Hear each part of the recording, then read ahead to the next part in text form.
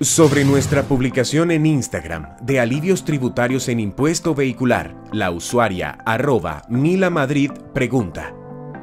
¿Se realiza por PSE automático el descuento o se debe acercar a las oficinas directamente? La Secretaría de Hacienda del Cesar responde. Para que conozca su situación real frente a intereses y sanciones aplicados a su impuesto vehicular para las vigencias 2020 y años anteriores, es necesario que se acerque a la oficina de rentas departamentales para que los beneficios tributarios le sean aplicados según sea su caso. Cada caso es distinto y es necesaria la atención personalizada para poder concertar con los contribuyentes. El vivero departamental recibió registro de garantía fitosanitaria por parte del ICA. En nuestra publicación en Instagram, el usuario arroba luisco-piso 31 pregunta ¿Dónde queda ubicado el vivero departamental del Cesar? La Secretaría de Ambiente del Cesar responde.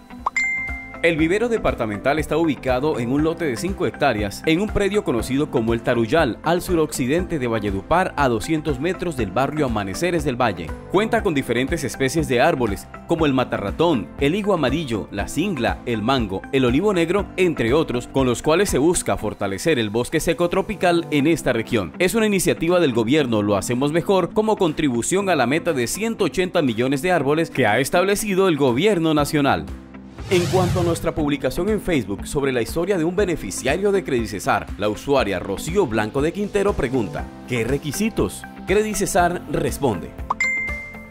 Para ser beneficiario de Credicesar debes tener en cuenta los siguientes documentos y requisitos. Diligenciar el formulario de presolicitud, ser propietario de una unidad productiva, fotocopia de la cédula, recibo de un servicio público, Estar libre de reportes negativos en centrales de riesgo.